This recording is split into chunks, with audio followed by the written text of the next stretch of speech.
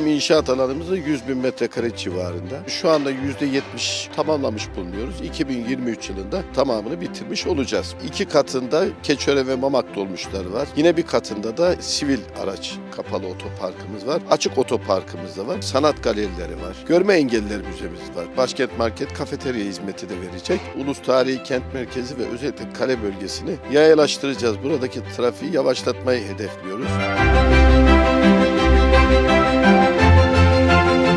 Zahmidiye Cami önemli bir vakıf eseri. Mimari üslup ve yapım tekniği açısından 19. yüzyıla dönemleyebiliriz. Özgün halinde yeniden yapacağız.